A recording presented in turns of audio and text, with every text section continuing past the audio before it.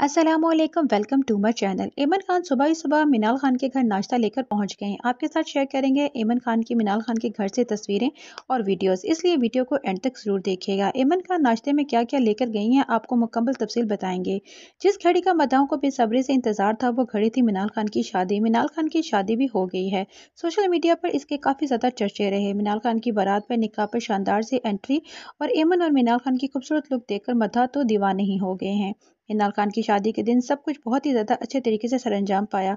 शादी पर माइयों और ढोलके पर ज़्यादा, काफ़ी एक्सपेंसिव अरेंजमेंट किया गया, मगर बारात वाले दिन सब कुछ बहुत ही डिसेंट सा दिखाई दे रहा था। माधाओं ने दूल्हा और दुल्हन दोनों के लुक को बहुत ही ज़्यादा पसंद किया।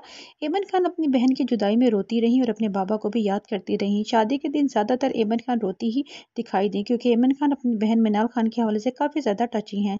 बिल्कुल वैसे ही जैसे हर बहन हुआ करती है, मगर मिनाल खान का खुश देखकर एमन खान भी खुश हो गए हैं।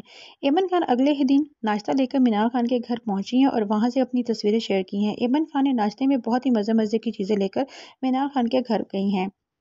मिनाल खान और एहसन मोहसिन इकराम बहुत ज़्यादा खुश दिखाई दे रहे थे। मिनाल खान और एहसन मोहसिन इकराम ने एमन खान को बहुत ही अच्छे अंदाज में वेलकम किया।